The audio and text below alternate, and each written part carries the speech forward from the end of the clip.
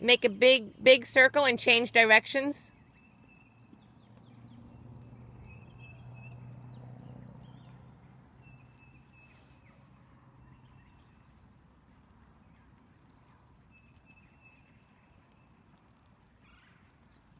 Cut through the ring and change directions.